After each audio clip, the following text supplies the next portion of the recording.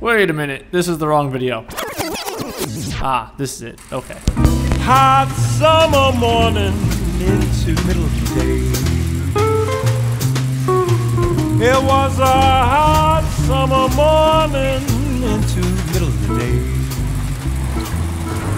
Ah, you know, that's so much better. Taking our beautiful, amazing looking, nice 4K footage that we saw in the intro or anywhere, and just making it look like absolute dog shit.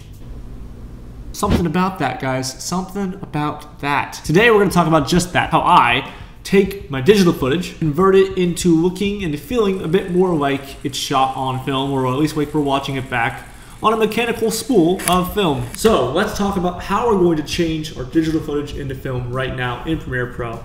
Okay, so first things first, we need to make a new sequence. How do you do that? Obviously it's easy, but let's just say you don't know how.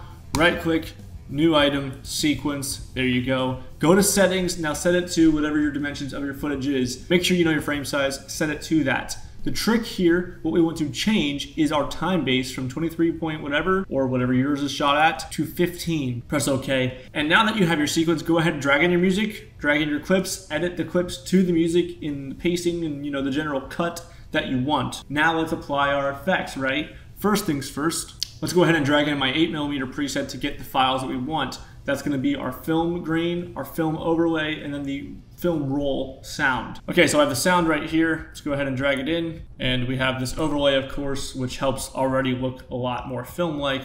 You'll find oftentimes that these overlays um, are not long enough for as long as you want it to be, so just duplicate them, and then we're gonna nest them together right now. Select both of these, right click, and nest it. Now let's open up our film grunge, grab just the texture itself, not the audio layer, because you don't need the audio layer, and change the blend mode in your effects controls to, I don't know, screen or color dodge. Both of them seem to work okay. I think color dodge is better for my footage in this case. That's the easy part. The hard part is coming right now. Okay, then go ahead right click, new item, adjustment layer. We want to bring that in, make sure it's your sequence size. If it is, bring it in, stretch it to the length of your footage. In this case, mine's only seven seconds here. Go under effects, type in turbulent displace, so turb, turbulent displace, drag that on there. We'll minimize that for now. Find a strobe effect, so strobe light, drag that on there as well. We'll grab directional blur, bring that on there, minimize that as well, and we'll bring in a wave warp.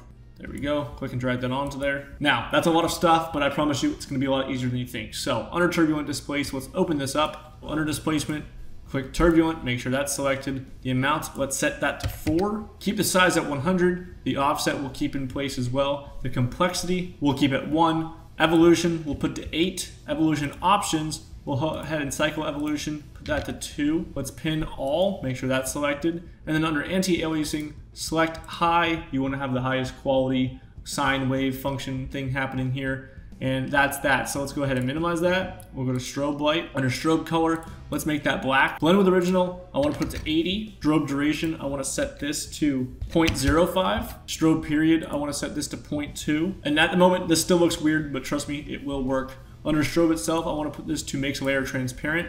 Under strobe operator, I want to keep this as copy and random seed I'm going to ignore. Now, let's minimize strobe light, go to directional blur. Let's change the direction to 90 and the blur length to 10. There we go. And then finally, wave warp, which is why this looks funny right now. We're gonna fix that. So keep it as sine wave. I'm gonna set my wave height to four, wave width to 2000. The direction, I'm gonna put to 180. So that way the waves go this way and this way, not up and down. And then wave speed, I'm gonna set that to about 0.5. Under pinning, I'm going to do all edges. Under phase, I'm going to set this to 90. And under anti-aliasing, let's put that onto medium. With all these effects applied, you'll notice that it looks pretty similar to how it already looked. And that can be changed depending on what you want. A lot of it comes down to if you have the grain on there, you can change from color dodge to screen like I mentioned, or you can put it on soft light, which will make everything darker and grungier. It really depends on what you want out of it. You can also go ahead, ignore all of this, go back to color dodge, we'll search for grain. Then we'll just add a noise and grain filter onto our adjustment layer. And underneath that, we'll go ahead and crank that up to like 50, for instance, which will add a good amount of noise. Turn off color noise in my preference. I don't like color noise too much.